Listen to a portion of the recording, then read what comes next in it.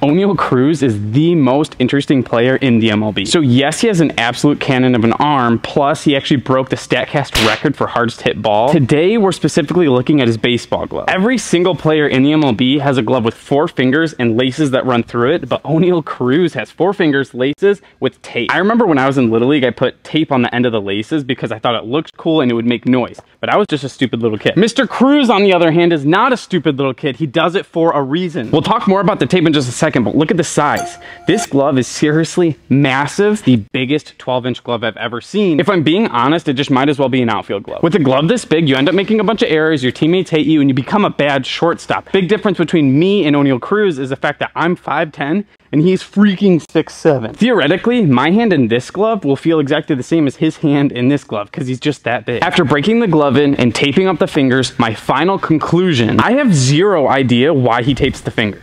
And so that's why